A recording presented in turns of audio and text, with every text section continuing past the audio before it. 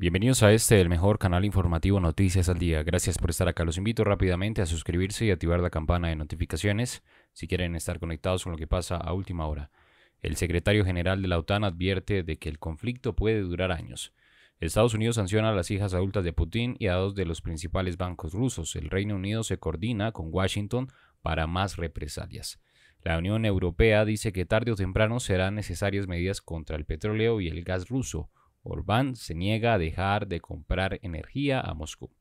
No olvide dejar un comentario en este video y un me gusta también para apoyarnos. De antemano, muchas gracias. Estaremos pendientes y al tanto de sus argumentos. El secretario general de la OTAN ha advertido este miércoles que el conflicto en Ucrania puede durar meses e incluso años, y que nada hace pensar que el presidente ruso Vladimir Putin haya cambiado sus objetivos de tomar toda Ucrania y reescribir el orden internacional. Mientras Estados Unidos ha anunciado este miércoles nuevas sanciones contra Rusia en respuesta al caso de Bucha, las dos hijas adultas de Putin y del ministro de Exteriores, Sergei Lavrov, entran en la lista de sancionados por Estados Unidos, mientras que dos de los mayores bancos rusos se suman a los ya afectados. El Reino Unido también ha anunciado nuevas represalias coordinadas con Washington, mientras la Unión Europea prevé que sus nuevas medidas saldrán mañana. El presidente del Consejo Europeo ha afirmado ante la Eurocámara que tarde o temprano serán necesarias medidas contra el petróleo y el gas. ¿Qué opinan de esta información? Nuevamente los invito a suscribirse y activar la campana de notificaciones. No olvide compartir a través de todas las redes sociales, dejar un comentario y un me gusta.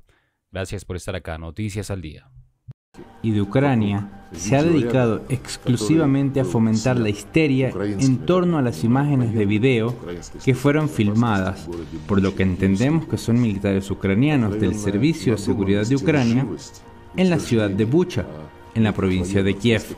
La flagrante invención y falsedad de las acusaciones de algún tipo de crímenes de guerra por parte de las Fuerzas Armadas rusas que llevan a cabo una operación militar especial ha quedado demostrada en numerosas ocasiones en las más detalladas sesiones informativas del Ministerio de Defensa ruso, de nuestro Ministerio de Asuntos Exteriores y de nuestra misión permanente ante las Naciones Unidas, que ayer celebró una conferencia de prensa especial y hoy ha expuesto detalladamente nuestra posición. Ha presentado los hechos y ha leído las declaraciones de testigos en el Consejo de Seguridad de la ONU. La pregunta que se plantea es la siguiente. ¿Cuál es el motivo de esta provocación descaradamente falsa, cuya veracidad es sencillamente imposible de justificar? Pensamos que la razón es el deseo de encontrar un pretexto para interrumpir las negociaciones en curso y hacerlo justo en el momento en que una luz, aunque todavía no es muy brillante, empieza a brillar sobre ellos. Cuando en las conversaciones de Estambul del 29 de marzo, por primera vez en todo el periodo de contacto entre nuestras delegaciones, la parte ucraniana presentó una visión escrita de lo que podría ser un tratado sobre el Estatuto de Ucrania y las garantías de seguridad. Por primera vez, la parte ucraniana puso sobre el papel su voluntad de declarar su estado neutral, no alineado, no nuclear y por primera vez declaró su voluntad de negarse a que se coloquen en su territorio armas de estados extranjeros y a que se realicen en su territorio ejercicios en los que participen militares extranjeros salvo con el consentimiento de todos los países garantes de este tratado, futuro tratado, esperamos, incluida la Federación Rusa. Las garantías de seguridad que ofrece este tratado también van, en general, en la dirección de la necesidad de negociar y acordar de tal manera que se descarte por completo la expansión de la OTAN hacia el este, en particular hacia Ucrania. Y se garantice la seguridad indivisible del continente europeo.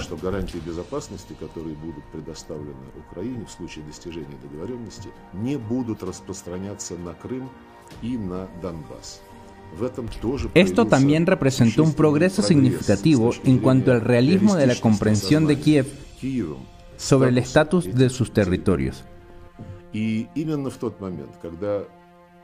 Y fue en el momento en que, de conformidad con los acuerdos de Estambul, la parte rusa decidió, como gesto de buena voluntad, llevar a cabo una cierta desescalada de la situación sobre el terreno, principalmente en la provincia de Kiev y en la provincia de Chernigov.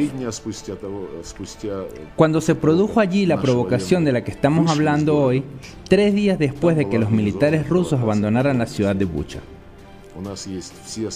Tenemos todos los motivos para creer que esto se hizo para desviar la atención del proceso de negociación, para desviar la atención del hecho de que la parte ucraniana comenzó a retroceder después de Estambul. tratando de establecer más y más condiciones. Y tan pronto como los medios de comunicaciones occidentales difundieron una falsificación sobre la ciudad de Bucha, los negociadores ucranianos trataron de interrumpir el proceso de negociación. Suponemos que la comunidad internacional tiene el deber de conocer la verdad. Y la comunidad internacional tiene el deber de saber que la parte rusa está dispuesta a trabajar de forma honesta y coherente en la mesa de negociación. Pero si la delegación ucraniana sigue diciendo que son necesarios pasos adicionales por parte de la Federación Rusa, si siguen negándose categóricamente, como lo están haciendo ahora,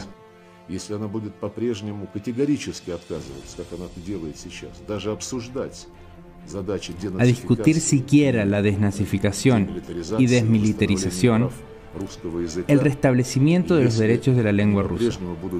Si siguen diciendo que no existen problemas con la lengua rusa, con los derechos de la población de habla rusa y con la nazificación de todas las partes de su país, no creo que esto facilite el avance del proceso de negociación.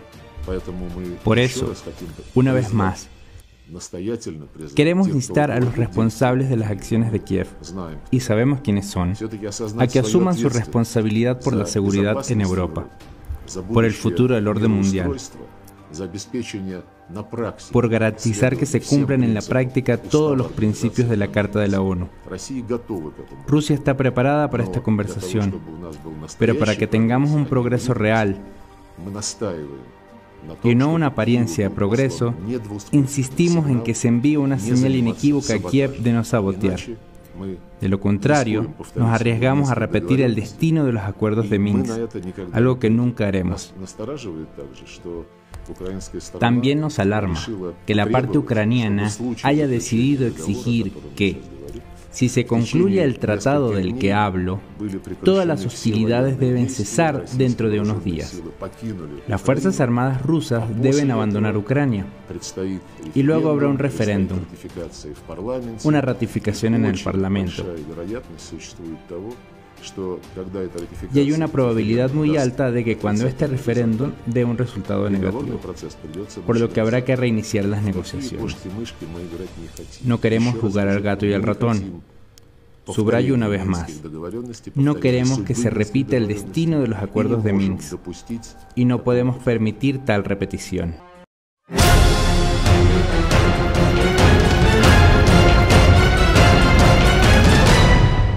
Si no te quieres perder de los últimos acontecimientos que pasan en el mundo, suscríbete y activa la campana.